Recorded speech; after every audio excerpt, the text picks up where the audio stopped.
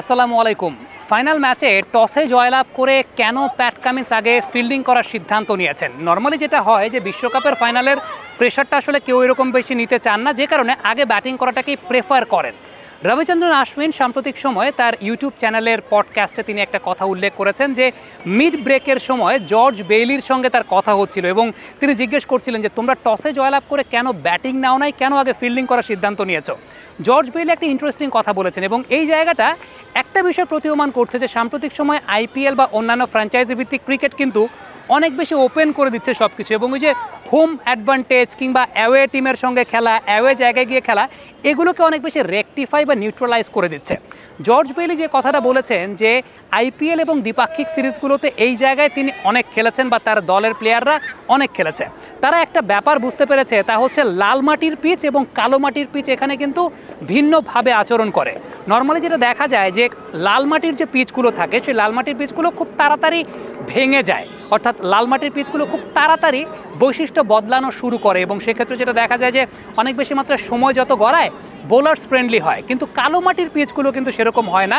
কালো মাটির পিচগুলো সময়ের সঙ্গে সঙ্গে এই জায়গায় বেটার হওয়া শুরু করে। ইভেন ডিউ ফ্যাক্টরের কোনো প্রভাব কিন্তু লাল মাটির পিচের উপর পড়ে না, কিন্তু ডিউ ফ্যাক্টরের প্রভাব কালো মাটির পিচে পড়ে। আহমেদাবাদের ফাইনালে যে পিচে খেলা হয়েছিল পাঁচ নম্বর পিচ, সেটা ছিল কালো মাটির পিচ।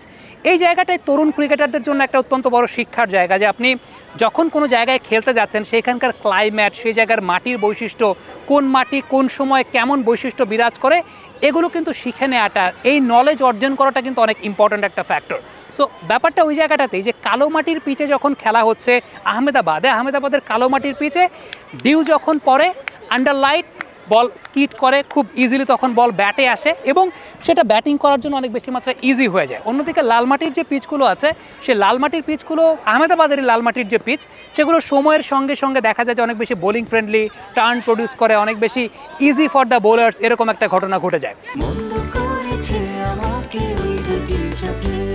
ট্রাভেলে ক্ষুধার, মজাদার আর হেলদি সমাধান। মিস্টার নুডলসের কাপ নুডলস, স্বাদ নাও ভালোবাসার। সো ফ্যাক্টরটা এই জায়গাটাতে যে অ্যাসেসমেন্টের জায়গাটা, এখন মডার্ন ডে ক্রিকেটে এই ফ্র্যাঞ্চাইজি ভিত্তিক ক্রিকেটগুলো আসার পর থেকে আইপিএল একটা অনেক বড় ফ্যাক্টর যে কন্ডিশনগুলো সম্পর্কে অন্যান্য দেশের প্লেয়াররা অনেক বেশি মাত্রায় হ্যাবিচুয়েটেড হয়ে যায়, কোন লেন্থে বোলিং করবে সেগুলো সম্পর্কে তারা অনেক বেশি মাত্রায় হ্যাবিচুয়েটেড হয়ে যায়। অস্ট্রেলিয়ার যেহেতু অনেক প্লেয়ারই আছেন, যারা আইপিএল আমরা দেখি ম্যাচ খেলেন, ম্যাচ না খেললেও দলের সঙ্গে থাকেন। অস্ট্রেলিয়ার প্লেয়ারদের আধিক্যের সংখ্যাটাই আমরা বেশি দেখতে পাই আইপিএলে সো ফ্যাক্টরটা ওই জায়গাটাতে যে কন্ডিশনটাকে তারা বেশ ভালো মতো অ্যাসেস করতে পেরেছে। এখন ফ্যাক্ট ইজ আইপিএল আসলে সত্যিকারের অর্থে একটা জায়গায় তো প্রোগ্রেস তো অবশ্যই আছে।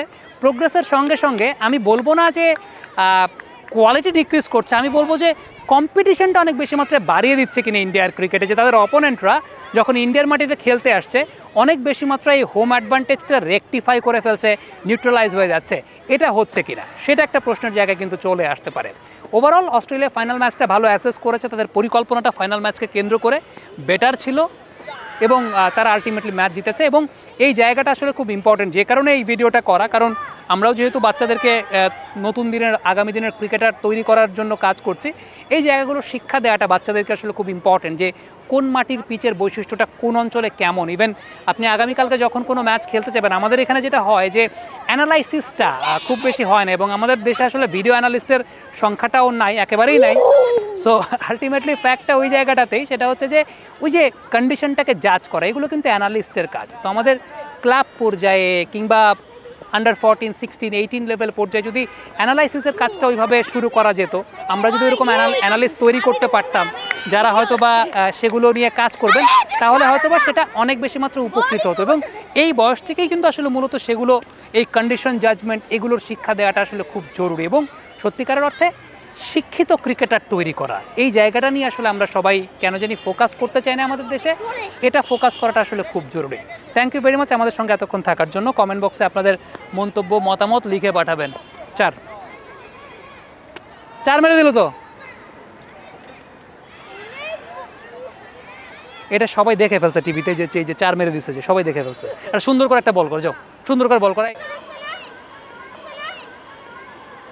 সুন্দর করে বল করো।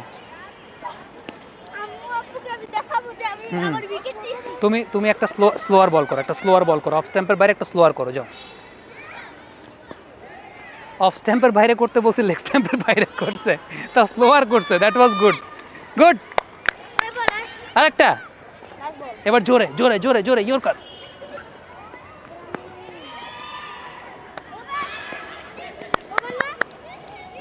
Over pack up